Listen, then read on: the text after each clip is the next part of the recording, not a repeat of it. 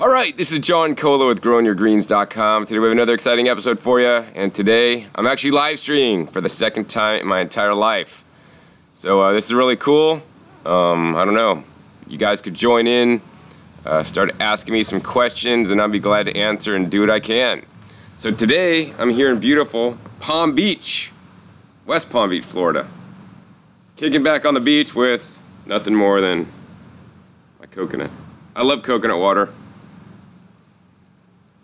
It's the best beverage on earth to drink. Anyways, I'm in my beautiful friend's garden. Actually, that was inspired by me. You could see, like, look at this. Some of his amazing uh, cabbage that he grows, right? And you, he uses some cool fertilizer that actually stuff I haven't even gotten into yet. This is his own humanure, right? And I'll have a video at this place for you guys that aren't here to watch the live stream that we go into detail like what he's growing and how he's doing it. But this is his humanure actually it's his manure and his urine high nitrogen fertilizer. And it's really cool because he like is now into gardening and a lot uh, you know and he does a lot of experiments. And so basically on this side he uses his humanure with some bagged compost product. And then over on the other side he's basically got his uh, uh, cow manure with uh, compost product. And you can see that his humanure stuff is like way bigger than even cow manure but standard agriculture uses cow manure. Maybe they should start using human manure. Anyways, uh, let's see here. Getting it set up still. I'm going to share this on Facebook real quick, so please bear with me some of the technical challenges of uh, doing this. I'm not uh, super fluent in uh, how all this stuff works still. But, oh, and I'm going to start looking at the pop-up chat window here um, momentarily and start answering you guys' questions.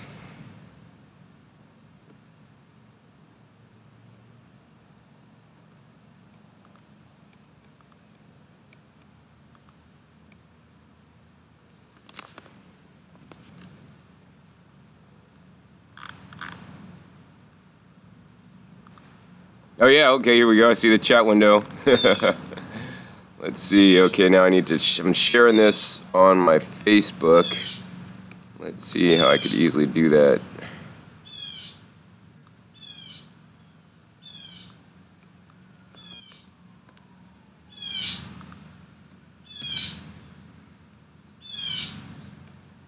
Oh yeah, and, and part of the reason for this actually live stream today is that actually I'm, I'm traveling right now, right? That's why I'm in my friend's garden. And I'm speaking tonight in West Palm Beach, Florida.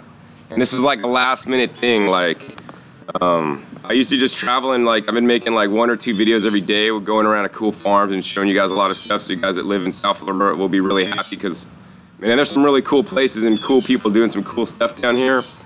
And I've just been going around. Like yesterday, I filmed two videos at uh, two different places.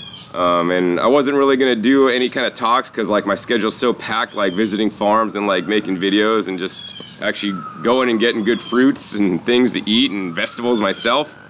Uh, but my friend of mine actually says, "Hey John, you want to give a talk? You know, I have a space." I'm like, "All right." And so literally, we set this up yesterday. So I want to try to get as many people as there as I can. You know, so I thought I'd do a live stream to help promote it for any of you guys that are on the, you know, in the South Florida area and I, I, am on I'm on East Coast time now, so it's a little bit early for most uh, West Coast people. They're probably still in bed on a Saturday. So uh, all right, so let's see here. Let me let me go ahead and get back to the chat window because I have all these other windows open on my um, computer, so we could uh, let's see here. All right, chat window. Where's that? All right, here we go. So there's that. Now I need the chat window, right? That's right here. All right, cool. All right. Yeah, so uh, if you're interested in uh, going to the presentation or the talk I'm giving tonight, oops, that's not the link. the link is in the description, so check out the link there. All right, so let me go ahead and let's see, how many people do we actually have in the, in the chat room here? Uh, I don't know. I guess it doesn't really matter. Oh, 59 people so far.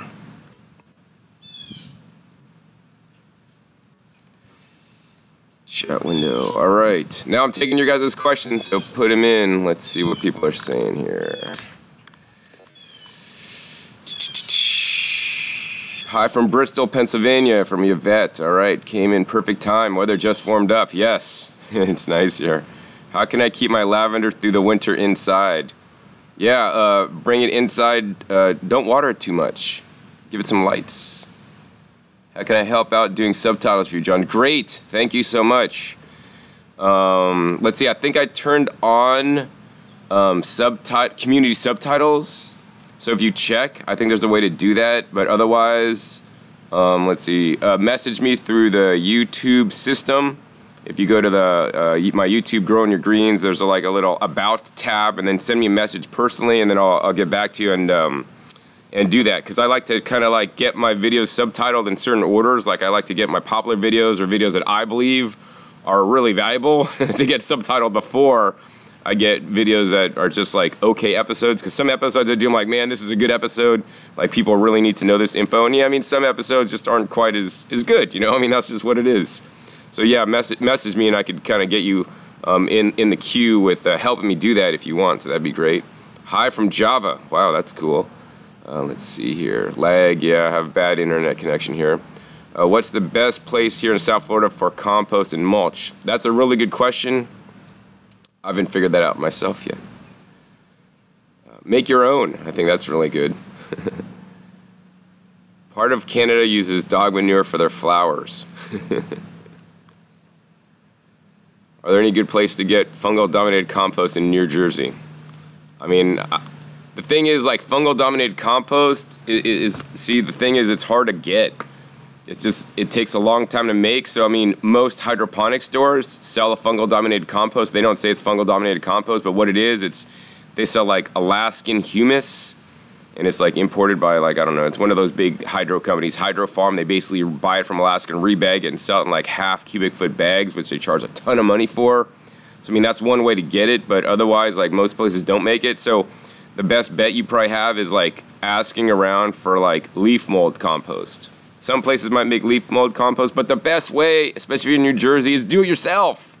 I mean, I guess your guys' fall is past, but try to find people that have stacked up their leaves and saved them and they didn't give them to the garbage company yet to take away and take them and just pile them up in a big pile in your backyard, right? Leaf mold compost is about 50% fungal, 50% bacterial, and it breaks down really fast. Maybe even over the winter it'll break down, and by next season you'll have some black gold at the bottom, so for some fungal dominated. And you know, so I always recommend you guys to do it yourself.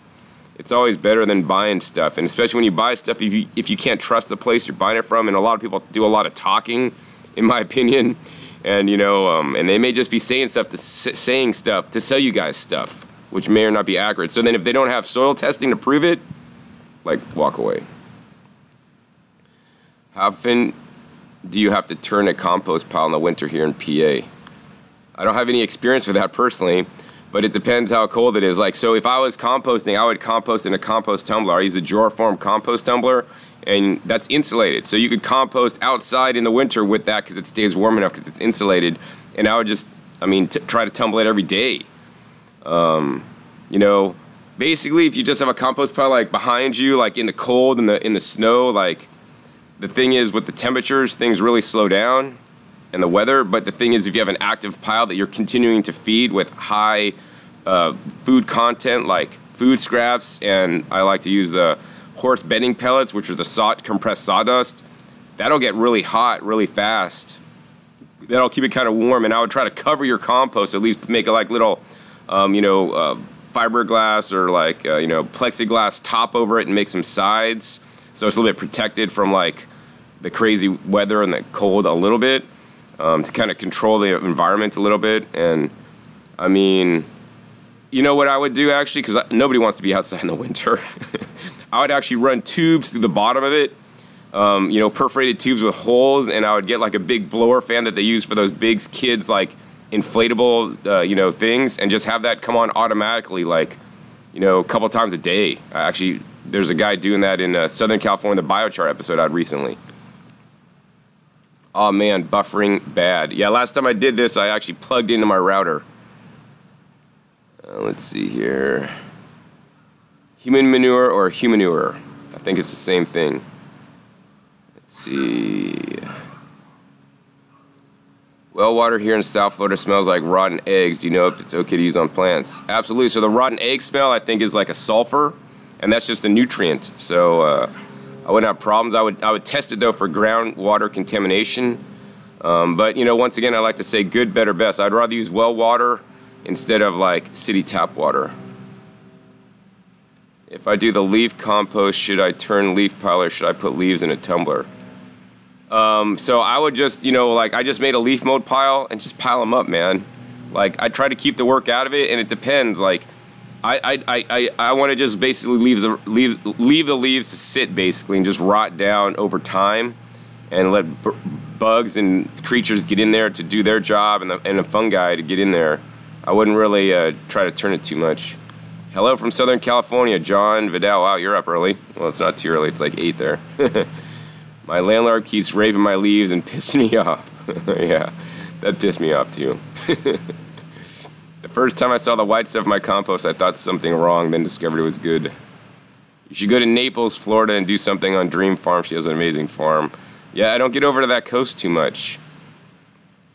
Fungal dominated compost from the forest. Thinking of growing microgreens inside, what kind of LED lighting should I use? So it depends how much money you got, right? Like right now, Costco has cheap like fluorescent shop lights on sale for like 20 bucks, right? They put out good lumens, maybe not their total right color temperature, but they'll work. Like microgreens are not picky. You could spend and get fancy hydroponic LED lights or get the ones from the guy that I visited in Baltimore, which are the right ones or the best ones. I mean, but you know what? Plants aren't picky. It's not like, I mean, you may get some increase in growth using the right spectrum and all this crap, but don't waste your money. It's my opinion. uh, let's see here. Um, what do we got?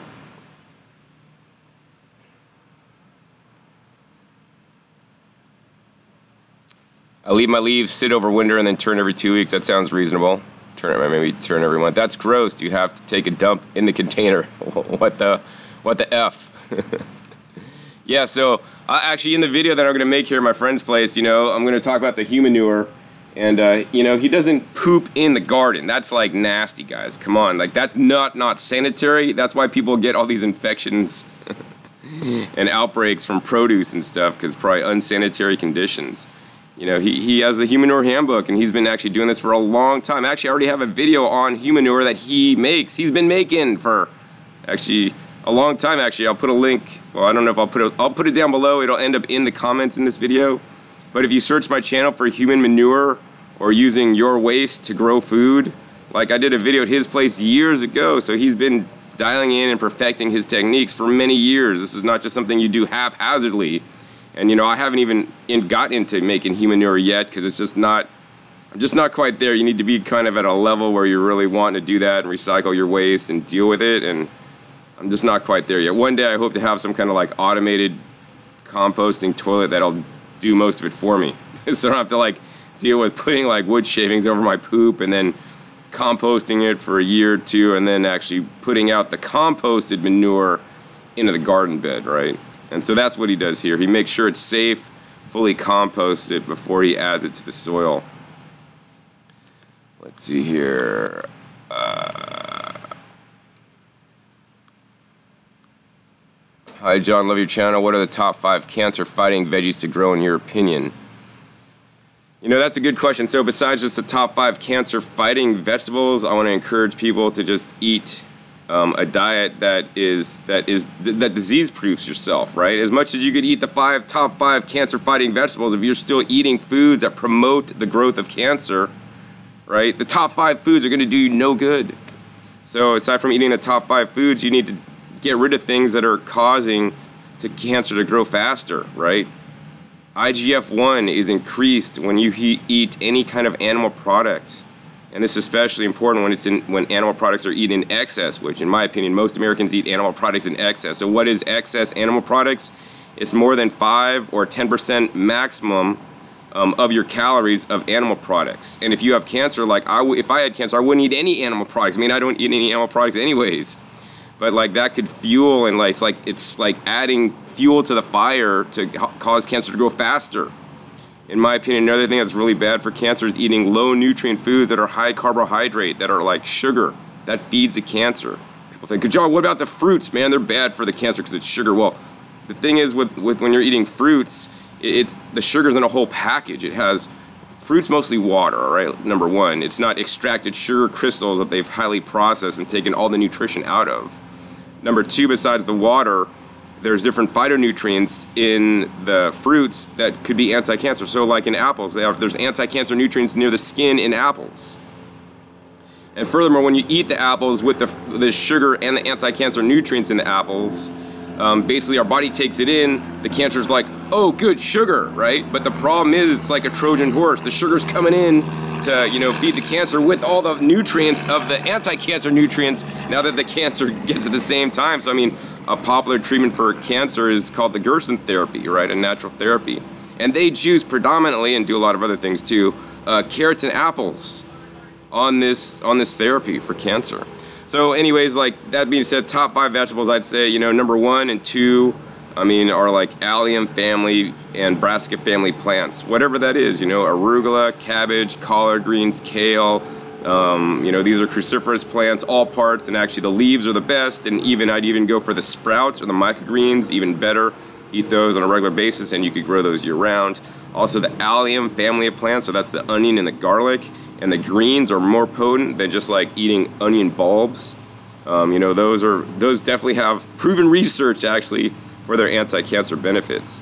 You know, going on from there, I mean, there's things like here in South Florida, I got a whole bunch of soursop leaves. They say that's good for anti-cancer. I mean, like the uh, the ashitaba I like. You know, they say that's good for anti-cancer. They say the cannabis that I like to consume when I'm able, you know, is anti-cancer. Like, basically, deep, rich, dark, leafy greens and herbs are probably some of the most rich cancer plants. And, you know, I've done all the research, and every different cancer will respond to a different nutrient, right? Oh, angiogenesis inhibitor, inhibitors also, like mushrooms. Grow some mushrooms, cook your mushrooms before you eat them. You know, that's going to prevent uh, the growth of extra blood cells. So I hope that helps you out there. And, you know, purple carrots, that's another very important anti cancer food, in my opinion. What tropicals do you re recommend I grow in Central Florida? So I mean, I can only say because I don't like live here. I just visit a lot.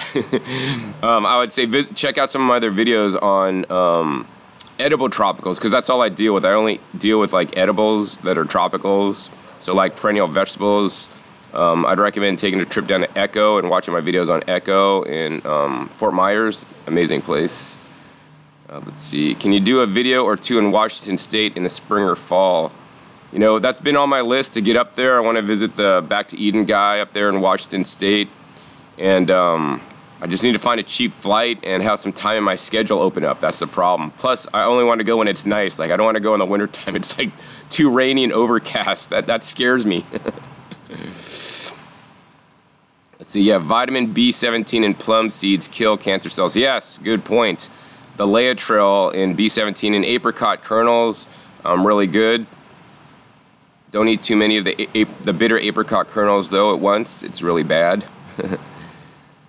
uh, let's see here. I'm trying to scroll through. Heard apple seeds were really good against lung cancer. Yes. Yeah, once again, there's the B17 in the apple seeds. I don't necessarily recommend eating apple seeds, but I will juice the whole apples with the seeds in my juice and, uh, you know, drink that to get some small, um, uh, you know, amounts of B17. Garlic just killed my cold off grid with Doug and Stacy. The more color to these is better. Hey, Doug and Stacy, how you doing? Uh, let's see. Love your cannabis videos. More, please. Yes, they are in the works. I'm trying to do many cannabis videos as I can. I believe strongly in the power of cannabis, not as a psychoactive drug like what most people think of, but as a food that can actually help us heal. And it's important for me to get the message out there because unfortunately, many people that are into cannabis are promoting it for different reasons than I would want it promoted. And there's so much new research coming out on that. What are your views on nightshades? I did answer that in a recent FAQ session that I put up, I believe. Um, basically, nightshades, I mean, there's a lot of research. Light nightshades could contain lectin, so you shouldn't eat them. Nightshades have solanine or other alkaloid poisons, you shouldn't eat them. Nightshades cause, um, you know, arthritis, so you shouldn't eat them. And basically, my opinion is this nightshades, as sold in the grocery store, when they're picked far too early, and unripe are probably not so good for you, right? They're they're imbalanced in my opinion because you know when the plant fully matures, fully ripens up, those, some of those anti-nutrients go down significantly and some of the phytonutrients go up significantly. So like in tomatoes, like, you know, the solanine will go down and the lycopene will go up. And so the problem is like people are eating unripe tomatoes, unripe peppers. I mean, people eat tons of green peppers. These are unripe peppers, right? The plant doesn't really want us to eat those. They, it puts toxins in the food, so we don't eat it. And when the pepper's ripe, then the seeds are viable. That's when the pepper says, hey, eat me because now you can distribute the seeds for me. And, and also the nutrients get higher. I mean, they get more colorful and stuff. So, I mean, that's why if you grow your own, like, yeah, grow your own, pick them at peak ripeness. That's why I don't like to harvest my peppers unripe. So I get the maximum amount of nutrition and the lowest amount of anti-nutrients in there. Um, that being said, that's my goal. And, but I understand that some people may be sensitive to any different nutrient or anti-nutrient or food, right? So people need to also check in with themselves. And John said it's all right to eat it if it's really ripe. Well, okay, I'm saying that for me, but some people just might be allergic to tomatoes or peppers or other nightshades in general, right? I mean, I know people that eat like goji berry sprouts. You know, they're a nightshade, but they eat the sprouts in pretty massive quantities. And aside from one guy, I haven't seen really anybody grow goji berry sprouts, like microgreens, right? I want somebody to do that. I want to do another. I want to do a specific video on that. Anyways, uh, let's go ahead and get back to some questions. Have you heard of the brand Opus Grow Soil and Compost? I have not. Where would be the best ideal location to live in the U.S. for growing food purposes? Um, somewhere you could grow year round. so, uh, I mean, every place has their pros and cons. Like South Florida, like the general gardening season is now, and they think you can't grow in the summertime when it's too hot, but you can. You just got to grow the right things. Same thing with like Las Vegas, right? You could grow year round, maybe a little bit colder in the in the winter, but hey, that's good. Kills all the bugs off. You know, tropical climates could be intense because they never have a cold spell that really kills all the bugs. So there's a lot more pest pressures, but that can be overcome with good soil and proper management. You know, I mean, basically you want to look for like frost-free places. So I mean, look at the low, like the southern part of the U.S. In my opinion, would be better for growing year-round. You know, uh, California, maybe like even the Pacific Northwest, some areas up there. Um, uh, you know, some parts lower southern Nevada, Arizona, New Mexico, Texas. You know, South Florida. Um, just depends it, it, depends what you want to grow too. You know, if you like tropical fruits, of course, moving somewhere to like South Florida, and I, I kind of prefer Southwest Florida, Florida than Southeast. I mean, I've been here in Southeast Florida the last couple days, and like, I tell you, man, the traffic's gotten really bad. I mean, I know this is like the season when all the people come down from New York and stuff, but I was just in like L.A. last weekend, and like, I swear the traffic here is as bad as L.A. now. It's insane. so, so it's, this is a nice place to visit. Uh, and I travel a lot on the freeways trying to get to different farms and stuff. So it's, and I've been going during rush hour. It's probably not too good. Uh, let's see. So I, I don't want to keep this. Oh, I got 103 people watching. 23 minutes elapsed. I'm in Canada. I would like to live off indoor farming. What would be my best option? Vertical, normal, aeroponic, etc. So that could be difficult. So I mean, you could can, you could grow a, a significant portion of your food indoor farming but I think the the resource intensive intensiveness of that would make it almost counter sustainable with all the inputs you'd have to put. Um, what I would focus on instead of like all your calories coming from indoor farming, I would like you know maybe try to grow outdoors during the season and grow things that are good storage crops. You know, root crops are really good. You know, Jerusalem artichokes, carrots, you know, beets, radishes, turnips, and grow like uh, winter squashes you could grow in the summertime and then store for the winter so you could actually eat everything you grew during the winter. And then, of course, during the winter and the summer, of course, grow the microgreens. That's the best indoor farming because that'll provide you the most nutrients, anti-cancer nutrients, phytonutrients. It'll help keep you young. Um, and you should just eat mostly that and then, you know, eat small amounts of other things for your caloric, to meet your caloric needs, whether they're local uh, or otherwise, like high nutrient density. I mean, like um, juicy, deep colored fruits are really good. That's what I like to eat, of course. You know, I mean, uh, beans, if you want to eat on the cheap, like deep, rich colored beans, you know, cook some beans up. Really good food. Not a, I'm not a huge fan of rice unless it's like a wild rice or a black rice. It's like richer in nutrients and like less uh, processed, but you got to watch out for the arsenic in the rice these days. Let's see, uh, Jason Voorhees says, John, the deep soil plants, i.e., root crops, can't, but any or above most soil products will work indoors, man. Uh, let's see. Just got a question about congestion. Hope that scrolled off my screen. What foods do you recommend for clearing mucus out of your system and ear drainage? So, I mean, I think for, for me on that situation, like if I had mucus, which I rarely get mucus, you need to eat a mucusless, mucusless diet. Mucusless diet. So there's a book by Arnold Ehret. It's Mucusless, Mucusless Diet Healing System, I believe. So you could look that book up. But basically, if you're getting mucus, you're eating something that is causing the mucus or other toxins. So like most everything I eat for the most part, unless I go out to a restaurant or something, a raw food restaurant, I don't get mucus. If I go to a raw food restaurant, I get mucus. But if I eat what I grew, things that I make at home with like, you know, with what I consider clean ingredients, I don't get mucus. But if I go somewhere and like at a toxic hotel, everything's off gassing, the next day I'll have mucus because that's my body like, hey, you got mucus now because you breathed in all this stuff and now your body's encapsulating mucus and trying to get rid of it.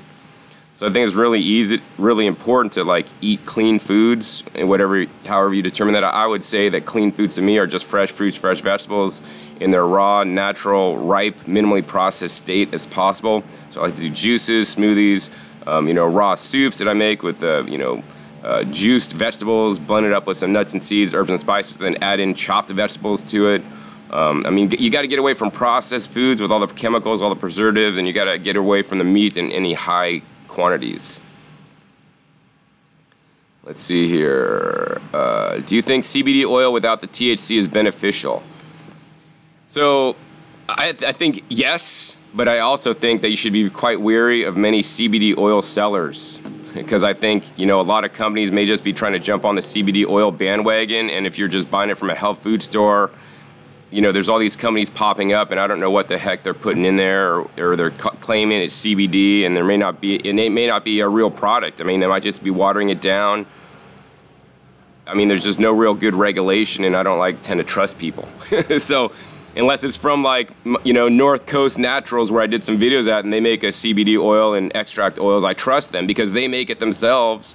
Or you know, I mean, if you do it yourself, if it was legal in your state where you live, um, I do believe in it. Or if you get a, get a trusted source that's actually you know going to produce a good quality product, um, you know.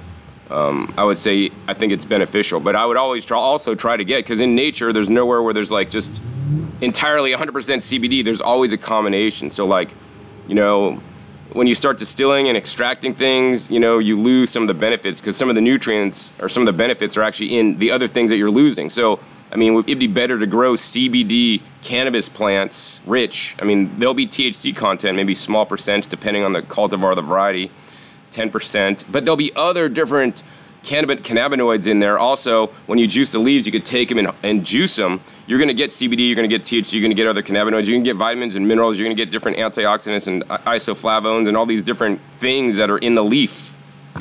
So we really want to stop in this whole mentality of like thinking about, oh, if I need vitamin C, I take a vitamin C supplement that's made from oranges. They just isolated the vitamin C. There could be really big problems with isolated nutrients so I want to get my nutrients from whole foods, from real foods that, you know, hopefully I grew. Let's see here. What kind of cabbage are you growing? Good question. So actually, in my garden, I'm not currently growing cabbage. I'm growing other brassica family plants, but these are my friend's cabbages. Um, I don't exactly know. I know he has some red cabbage, some green cabbage. I don't know the specific cultivar. Some he planted from seeds, and some actually he bought, he bought from plant starts, Bonnie plant starts actually from like a Home Depot. Kind of jealous how sunny and nice it looks there. Yes, one of the benefits of traveling and having uh, living near a major airport hub and being able to fly places for like 60 bucks. Scientists are now saying that we'll no longer be able to grow outside in seven years because of Fukushima radiation. Yeah, all kinds of crazy stuff. I just say go out there and do it. One of the cool things about my friend here is that you know he he he wasn't like trained as a gardener. I mean, he just started growing stuff and he just tries stuff. He's like, hey, let's see if this works, and he tries all kinds of. He topped his papaya tree. He took the topping that he cut off because it's in his roof. He just popped it in the ground to see if it's gonna root and grow again. What grows best in the Midwest? That's a good question. So I'm not the perfect person to answer for that because I actually haven't ever grown in the Midwest and Actually, I haven't even really traveled too much in the Midwest to see what grows there. I have a few videos actually in like uh, I think Milwaukee and some other areas, Chicago. But I would recommend checking out your local master gardeners, right? Um, they've they've done research. Also, go to your local farmers markets and ask the farmers there what they grow and what grows well. You know, there's research with the University Extension office near you who have done research on to, to show the cultivars and the varieties that grow really well. Can I start growing now in the Midwest? Yes, depending on what you grow. You should start growing sprouts and microgreens today. You could go out to Whole Foods or get seeds now and start them up. Do you think keeping a bird will push plant growth? I had a better germination rate since getting a small parakeet. Hmm. You know, I there is research on like noises or sounds and plant growth.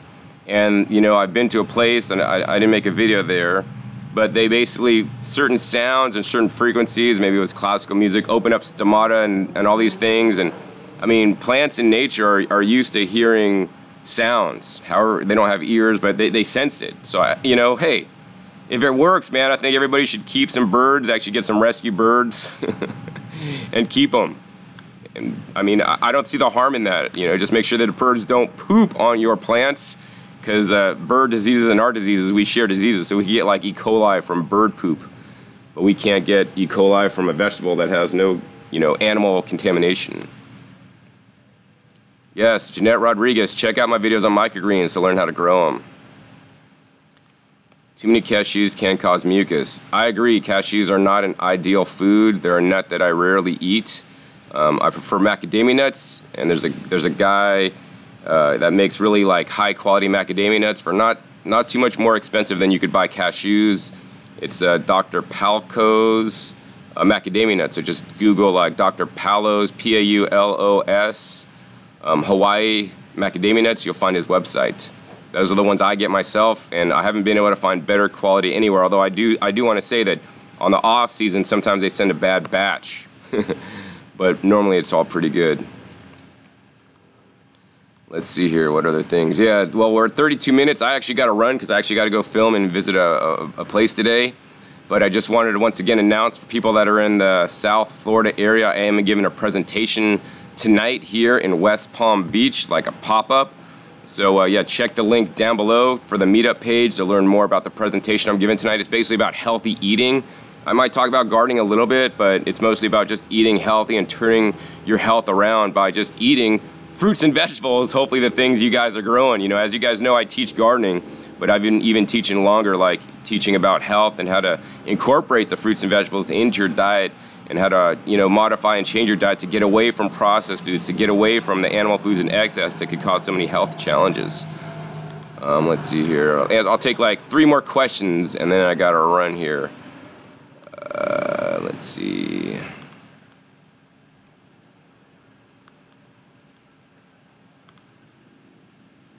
Oh yeah, milk causes mucus too. They told us not to drink milk for three days.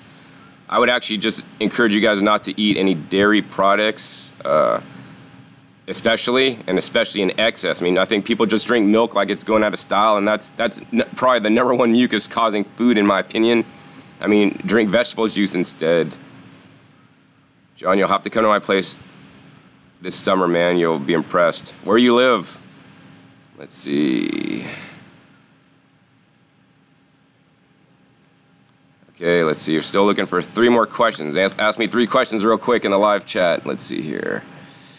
Thank you for your mulch compost video series. I learned so much. Yes, me too. And I love sharing this kind of information because you don't see this information on any other gardening channel, which I think is really sad to me. other gardening channels should be covering this stuff. Yes, I have more successful planting straight in the ground in individual pots. Am I getting nutrient lock or deficiency in my containers? Think of transferring my pomegranate tree into the ground.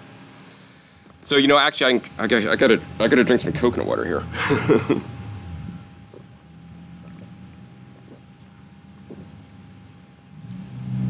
Actually, I always recommend planting things where you know you want them planted if you're able. Like if you know you want a pomegranate tree here, plant it in the ground from the get-go. Don't have it in a pot and don't transplant it later you know, if you could direct seed your um, vegetables in the space you want them, that's always going to be best. Plants do not like to be moved. And you know, in some cases, the ground or the soil, the earth that you're planting in may be a better match for the plant you're planting than a potting mixture, right? and especially in the case of trees, right? Trees don't tend to like potting mixtures because potting mixtures are mostly designed generally not for trees because they're more bacterial based. So yeah, I mean, I would I would definitely transfer your pomegranate into the ground if you know the place that you actually want it to live forever. Very important. Let's see here.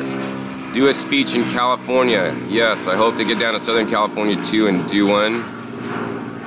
Can pomegranate tree grow inside a big warehouse, tempered, controlled? I mean, pomegranate trees will grow anywhere. I mean, even I mean, it's it it goes dormant in the wintertime. So as long as it doesn't get too cold, it'll do fine. But we got to remember like where a pomegranate tree's from, and we want to match the I, the conditions where they're from. That being said, you know, I mean, it could be a lot of hard work to grow a pomegranate in a temperature controlled environment, and you know, take power and electricity. I would rather just you guys go to a place where land is cheap buy land like the desert, whether that's, you know, in Nevada or Arizona, buy some property and grow pomegranates there because they do great there. I mean, that'd be a better use of your time and space then go down during the season when they're, when they're fruiting. Let's see, I'm friends with the president of the Master Gardeners program. He's a farmer at Criswell Farms. They don't teach certain things that you teach. You should do a lecture for them. Yeah, so I mean, I think Master Gardeners are great. They learn a lot of stuff, and in some cases, they know more than me because I'm self taught but in many cases, they only learn actually what's in the books, like in standard textbooks. And, you know, and unfortunately, what's in textbooks, in my opinion, is, is strongly, um, you know, has strongly been um, come to be because of the big corporations giving money to the universities to teach them certain maybe chemical ways of farming and growing things. Let's see. I'll take two more questions. What do you think about Korean natural farming? I think it's great. You know, every different farming practice is great and when applied properly. I think with Korean natural farming, they really stress the indigenous or IMOs, and I think IMOs are great. The thing I have is let's take Korean far natural farming better because aside from the IMOs, there's other microbes that may be missing from your specific environment that are no longer here because of soil degradation, because of, you know, all the massive things humans have done to the land. So I would like to do like Korean natural farming, and then also bring in additional things like uh, like outside microbes to incorporate that into your system, and then see what hangs around. So you know, through successions of doing this, you could really get a nice fine set of microbes from wide sources. And I have uh, talked about this before a little bit. Jason says. Uh, You'll have to bring Josh to the Midwest. Yeah, that'll be a trip. Josh doesn't really like to travel on airplanes, so he drives places. All right, one more question here. Let's see here. What which foods do you recommend for putting on more weight? I think I have high metabolism. So basically, it depends. I mean, I think you, you need to eat more higher calorie foods, and everybody's body is a little bit different. Like um, also, I would track calories and see how many calories you're eating. Like, if it was me and I want to put on weight, like, I like coconut, young coconut meat, actually. It's a nice mild fat, it's not too hardcore. Um, you know, I'd, I would just eat more carbohydrate rich foods if it was me. Like, I try to do high nutrient dense carbohydrate rich foods. I don't know your specific diet requirements, but basically, beans are really good food. I like to actually uh, if you cook the beans and then ferment them, so like if you make your own tempeh, the tempeh you buy in the store is heat pasteurized, so uh, that's not good. Or if you make your own natto, um, you know, fermented bean products I think are great um, to add weight, but also not just add weight, but add health. And the other thing I question is the, the average American's perception of weight. I mean, basically, if you go by BMI, like 70 to 80% of people in the USA are overweight according to BMI. That's body mass index, and so like most people might consider me too skinny, but that's just because everybody else is actually are probably too heavy. oh, we'll be driving there tonight from Fort Lauderdale. David, I did that last night. Let's see, leave early or leave late, but luckily it's Saturday, so you're not going to get the traffic. All right, one more question, then I got to sign off. I really got to go here. Um, let's see, we'll find something else. Yeah, propaganda textbooks, Monsanto, yes. Um, let's see. What do you think of Epsom salt flushes? I haven't looked into that. Are you going to do any live talks in Las Vegas soon? I don't have anything planned. I hope to. Um, but if you want to learn about my Las Vegas talks, please go to the meetup.com page. and search for the Raw Foods Meetup in Las Vegas. All my talks are always posted to that meetup group. I do it whenever I'm able, and I've been traveling so much lately. I've been home like one day or two days in December, which is kind of crazy. Yolanda Smith, I'm 62 and love you and your girlfriend so much. I'm eating raw and I'm passionate about health and gardening. I would like to work for you and your future wife when you have babies. I thank you so much. Hopefully one day we'll actually have a farm with accessory buildings to have people over and help us out and to teach people, you know, what I've learned and, and all that stuff. So that's one of my goals. All right. One last question. Let's see, from Kirk Johnson. Do you know of anyone growing hemp seed for food? Yeah, so growing hemp seed for food in the US, in most of the US, is currently illegal unless you live in a state where they have uh, basically made it legal to grow cannabis. Although hemp is a non psychoactive uh, um, type of cannabis, it's, it's outlawed because it's, it so closely relates cannabis, which I think is really stupid. Um, so I don't actually haven't been anywhere. I mean, I'd have to go outside the country. So like in Canada they do that, in Europe they do that, but basically I'm not. Oh, oh, you know what? There's a place in Tennessee actually that I learned about at the trade show that they're growing hemp in the USA. I'm not sure they're processing their seeds yet, but they had an open house that I was going to try to make, but I, I couldn't because my schedule was packed. So I hope they get down there soon. But there's a lot of really cool work coming out, and I think basically for hemp to be more recognized and able to grow, like there needs to be legalization of cannabis because that's really a blocking um, point. Cannabis will be legal across Canada in July of 2018. Yes, just yet another reason to move to Canada. All right, yeah. So uh, hit the thumbs up if you guys like this live stream. I'll do more. I really got to run. I'm running late now. but I always have fun. And we got us 132 people. But yeah, if you live in the South Florida area, hey, come up and see me tonight. I'd love to meet you. And uh, yeah, that's pretty much it for today. Yeah, so anyways, uh, with that, I'm going to have to sign off. So yeah, if you like this live stream, thumb it up. I'll try to do more in the future when I have some time. Also, be sure to click that subscribe button right down below if you're not already one of my subscribers so you could uh, learn about the new and upcoming episodes are coming out of every three to four days. I still got a lot of episodes because I was just in Houston, coming out from Houston. Then, of course, after that, I'll probably have a lot of these videos that I've been filming in South Florida like every day. I mean, I just it's just fun for me to go to farms, meet new farmers, meet new cool people, and share their stories, and hopefully at the same time help inspire you guys to grow more food wherever you guys live. Uh, also, be sure to check out past episodes, right? My past episodes are wealth of knowledge, over 1,300 episodes at this time. Teach you guys all aspects on how you guys could grow uh, your own food at home, and some of them, of course, are on how to prepare them uh, in the best way possible. And also, yeah, leave your comments down below. What kind of videos do you guys want me to do in the future, right? I mean, I, I, I have, I'm so versed in this because I've been living this lifestyle now for 22 years, growing food, eating food, all this kind of stuff. Yeah, post down below some, some uh, you know, video topics that you'd like, and maybe I could incorporate those in a some of my videos for you guys. So uh, with that, anyways, my name is John Kohler with GrowingYourGreens.com. We'll see you next time. Until then, remember, keep on growing and make sure you drink some coconut water for me. It's probably the best water on earth.